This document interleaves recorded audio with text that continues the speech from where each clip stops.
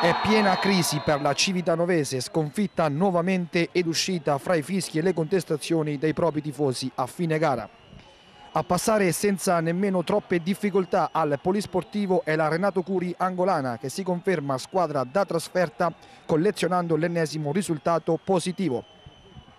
Di Bordoni nel finale di primo tempo e di, e di D'Alessandro con la complicità di un difensore locale le reti di una partita che ha sancito per i rossoblù una sconfitta meritata e che potrebbe avere pesanti ripercussioni future.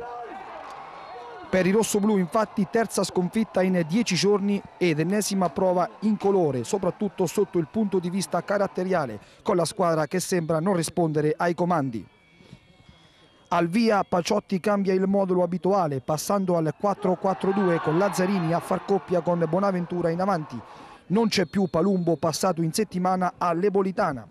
Serrapica e Paniccià sono sempre out per infortunio, invece è recuperato per la panchina Rachini.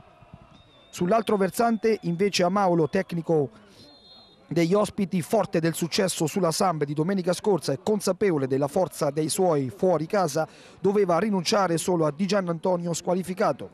A dirigere Pezzuto di Lecce un migliaio di spettatori circa sugli spalti ma passiamo alla cronaca della gara.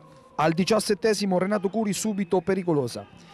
Da uno schema preciso su punizione nasce una palla gol con l'ex Juve Cammarata che in posizione non del tutto regolare va a cogliere in pieno il palo con la Civitanovese che si salva.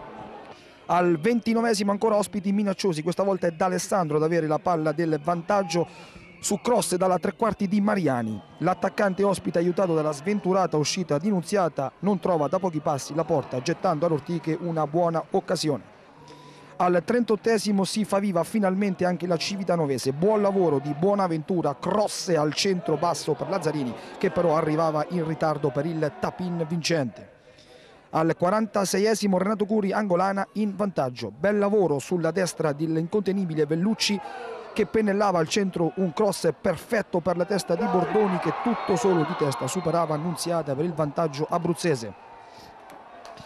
Si va nella ripresa, si accendono i riflettori e Paciotti ridisegna la Civitanovese passando al 4-3-3 avanzando sulla linea, av sulla linea noschese e al quattordicesimo i rossoblù sono infatti subito pericolosi.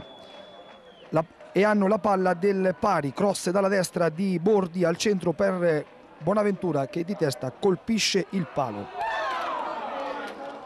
Al 38 arriva però il raddoppio della Renato Curi angolana. Punizione dal limite di D'Alessandro, palla deviata dalla barriera che andava a spiazzare l'incolpevole Nunziata toccando prima il palo e finendo poi la sua corsa in fondo al sacco. È notte fonda per la Civitanovese e al 42esimo le cose si complicano con i rossoblù che rimangono in 10 per l'espulsione di Marotta. Al 45esimo sulle, sui resti di una Civitanovese ormai distrutta, la Renato Curi angolana ha la possibilità per chiudere definitivamente l'incontro, ma Cammarata incredibilmente sotto misura sciupava una delle più clamorose occasioni. Finale con gli ospiti a festeggiare sotto i propri sostenitori e con la Civitanovese invece contestata dai propri tifosi.